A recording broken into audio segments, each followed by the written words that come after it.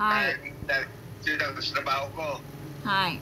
Tapos, noong July, yan pa nagnapasildo ang pamilya.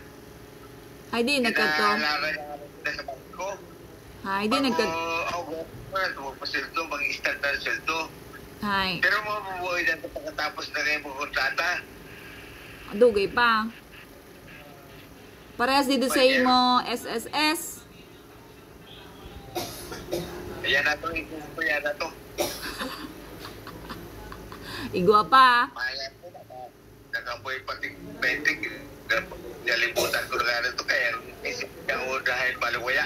Ngani. Ang sala sa lagid sa lagid busada ng sala ng imo employer ya ginabayaran mang ya ginabayaran monthly. Kuya, Mm. Ay bay lang.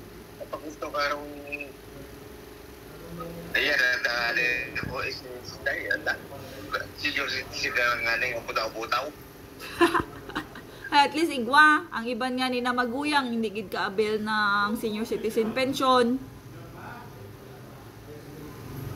At bulan na 500,